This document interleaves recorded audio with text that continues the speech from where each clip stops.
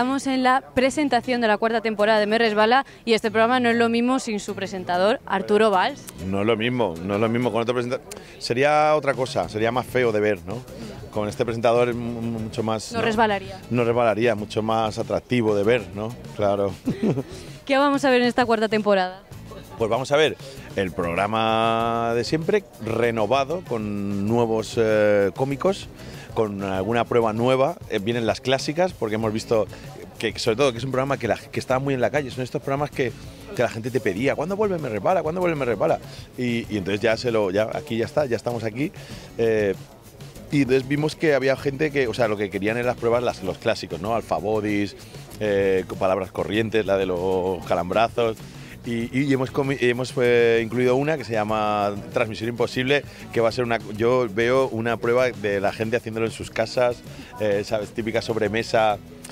La suerte que tiene la gente es que se puede tomar unas copitas. Nosotros lo hacemos sin copas, pero con copas también todavía, será todavía más divertido. Haciendo así como mímica, así muy, muy absurdo, muy, muy divertido.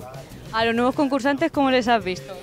Pues muy entregados, muy entregados, muy, muy doloridos, porque yo notaba como a los 10 minutos de- del programa los nuevos veías como se iban acordándose de su representante, ¿sabes? Diciendo, ¿qué, qué he hecho? ¿Por qué? ¿Por qué he venido? ¿no? Ya empezaba el... do- ¿Merezco esto? claro, claro.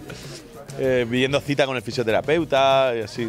O sea, pero los he visto entregadísimos porque eso sí, es un programa de, de, de darlo todo. O sea, es un programa que si no tienes mucha energía y estar dispuesto a hacer el tonto sin ningún prejuicio, eh, si no, no funciona. Y entonces, claro, cuando vienen, vienen y lo, lo dan todo así acaban. ¿no? Ves el programa que se van a casa y venga, hasta luego. Y haciendo balance ahora de Ninja Warrior, ¿cómo lo has visto?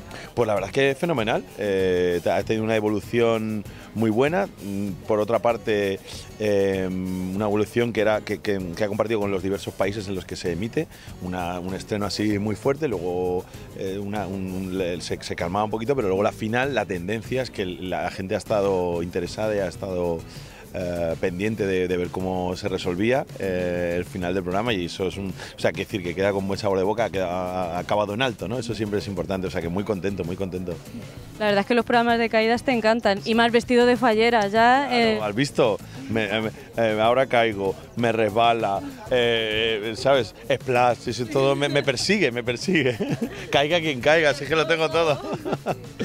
y ahora caigo es el programa más longevo de Jazz Music. sí, sí. ¿Cómo es presentar un programa tan, tan longevo en televisión? Pues un lujazo, un lujazo. Está, está Jordi Hurtado temblando ya. Está, tiene ya, dice, ostras, que viene este.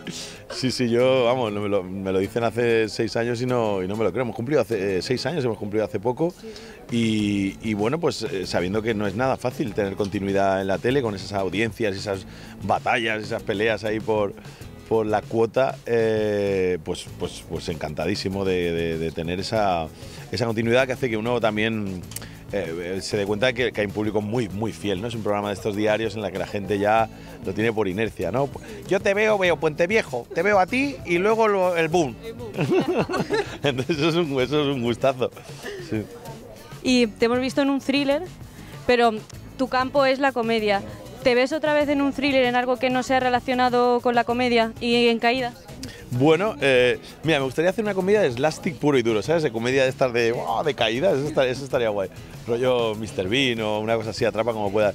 Y, y la, y el drama, mm, sí me, o sea, sí me veo, depende más del, del productor de turno o de, o de un, un guionista que de repente se atreva que, que lo que uno quiera hacer. Yo, o sea, quiero decir, no es una obsesión hacer un drama, eh, es que, que encaje, que encaje bien lo que te ofrezcan y que no sea un- una locura. O sea, que, que sí, ¿por qué no?